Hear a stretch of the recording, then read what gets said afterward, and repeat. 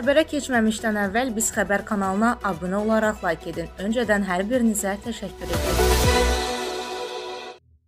Bakı-Şamaxı yolunda paytaxtın 279 saylı tam orta məktəbin müəllim və şagird heyətinin düşdüyü qəza nəticəsində xəsarət alan 11 nəfər Şamaxı mərkəzi xəstəxanasına daxil olub. Bunu Qafqaz İnfonun sorğusuna cavab olaraq təbibin ictimaiyyətlə əlaqələr və tədbirlər şöbəsinin müdiri Zamirə Ədilova deyib.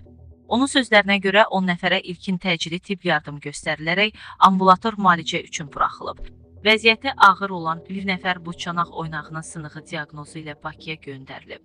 2 nəfər orta ağır vəziyyətdə Qobustan mərkəzi xəstəxanasına daxil olub. Oradan isə Bakıya göndərilib.